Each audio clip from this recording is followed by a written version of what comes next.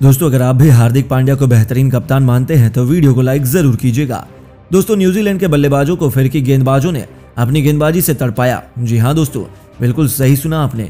New Zealand के खिलाफ series को बचाने के लिए भारतीय टीम के फिरकी गेंदबाजों ने फिरकी का ऐसा जाल बुन दिया जिसके बाद न्यूजीलैंड के बल्लेबाज उसमें उलझे हुए नज़र आए और पेड़ के सूखे पत्तों की तरह झड़ गए। तो आखिरकार कैसे फिरकी गेंदबाजों ने खतरनाक गेंदबाजी करते हुए न्यूजीलैंड को चारों खाने चित्त किया? यह तो आपको बताएँगे ही, साथ ही साथ इस रोमांचक मुकाबले की रोंगटे खड़े कर देने वाली हाईलाइट का वीडियो भी हम आपको दिखाने वाले हैं। तो जानने के लिए वीडियो को पूरा एंड तक ज़रूर देखिएगा, लेकिन उससे पहले आपको क्या लगता है? कुलदीप यादव या युवेंद्र चहल और वाशिंगटन सुंदर में से कौन है खतरनाक खिलाड़ी? इस बात का जवाब हमें नीचे कमेंट बॉक्स में ज़रूर दें। दोस्तों, न्यूजीलैंड के खिलाफ दूसरे मुकाबले में जीत दर्ज करने के लिए लखनऊ के मैदान पर भारतीय टीम उतरी, जहाँ पर भारतीय टीम के कप्तान हार्दिक पांड्या के पक्ष में सिक्का नहीं गिरा। और भारतीय टीम पहले गेंदबाजी करने के लिए उतरी, जहाँ पर भारतीय टीम में मात्र एक बदलाव उमरान मलिक की जगह यजुवेंद्र चहल को खिलाकर किया गया। तो वहीं विरोधी टीम की तरफ़ से पारी की शुरुआत करने के लिए एलन और कॉनवे मैदान पर आए, जहाँ पर इन्होंने काफ़ी ज़्यादा खतरनाक बल्लेबाजी करते हुए सभी को चारों खाने चित्त कर दिया। हालाँकि भारतीय टीम के गेंदबाजों ने शानदार वापसी की और सभी को नेस्तनाबूद किया। दरअसल चौथे ओवर में युजवेंद्र चहल ने अपनी खतरनाक गेंदबाजी से बल्लेबाज एलन को काफ़ी ज़्यादा परेशान किया। आपको बता दें, एलन को पहली दो गेंदों पर एक भी रन नहीं बनाने दिया, लेकिन उसके बाद आखिरकार एलन के सामने युजवेंद्र चहल ने जंग जीत ली, जहाँ पर युजवेंद्र चहल ने एलन को 10 गेंदों पर दो चौकों की मदद से 11 रन बनाने के बाद क्लीन बोल्ड कर दिया, जिसके बाद बल्लेबाजी करने के लिए चैपमैन मैदान पर आए और इस ओवर में एक भी रन नहीं आया और युजवेंद्र चहल ने विकेट मेडन ओवर डाल दिया।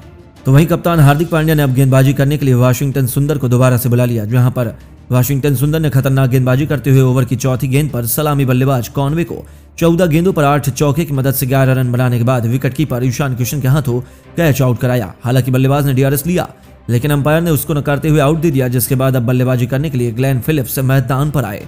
तो वहीं भारतीय टीम के गेंदबाजों ने न्यूजीलैंड के 28 रन के स्कोर पर दो विकेट गिरा दिए। तो वहीं पाँचवें ओवर में मात्र आठ रन आ गए। ऐसे में पावर प्ले का अंतिम ओवर कराने के लिए एक बार फिर से फिर की गेंदबाज युजवेंद्र चहल मैदान पर आए। हालाँकि युजवेंद्र चहल ने काफ़ी ज़्यादा खतरनाक गेंदबाजी करते हुए ओवर में चार रन बटोरे तो वहीं भारतीय टीम ने न्यूजीलैंड को पावर प्ले में 33 रन, दो विकेट के नुकसान पर बनाने दिए।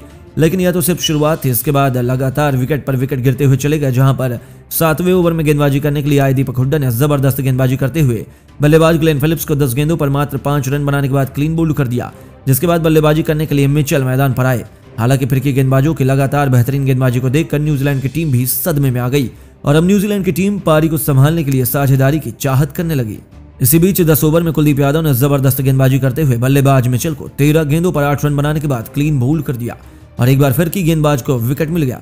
ऐसे में गेंदबाजों के ज़बरदस्त गेंदबाजी को देखकर हर कोई हैरान था। इसके बाद तेरह ओवर में एक बार फिर से दीपक हुड्डा ने तहलका मचाया और बल्लेबाज चैपमैन को 21 गेंदों पर 14 रन बनाने के बाद कुलदीप यादव और ईशान किशन के मिश्रण के सात रन आउट कर दिया, जिसके साथ ही न्यूजीलैंड की टीम के आगे खिलाड़ी पवेलियन का रास्ता साठ रन के स्कोर पर तय कर गया, जिसके बाद अब ब्रेसवेल और सेंटनर ने मिलकर टीम को संभाल लिया। लेकिन ये दोनों बल्लेबाज फिरकी गेंदबाज की बजाय तेज गेंदबाजों के हाथों आउट हो गए। जी हाँ दोस्तों, सत्रह ओवर में कप्तान हार्दिक पांड्या ने ज़बरदस्त गेंदबाजी करते हुए ब्रिस्बेल को 22 गेंदों पर 14 रन बनाने के बाद हर्षदीप सिंह के हाथों कैच आउट करा दिया तो वहीं अर्शदीप सिंह ने बाउंड्री पर खड़े होकर एक बेहतरीन कैच पकड़ते हुए सभी को हैरान कर दिया।